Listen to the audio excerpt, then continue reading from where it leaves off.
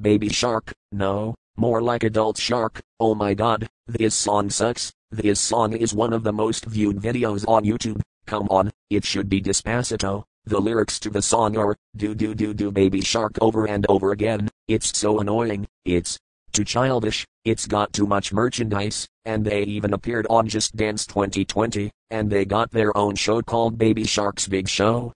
What? No, more like Adult Shark's Little Show. Oh my god, this show sucks. I hope this song gets removed soon. Do you know who hates this song? Everyone in the entire world. They think it's the worst song in the planet. So screw Baby Shark, and screw Pinkfong, Despacito. 65 quintillion 397 quadrillion 192 trillion 600 billion times way better than Baby Shark. End of rant.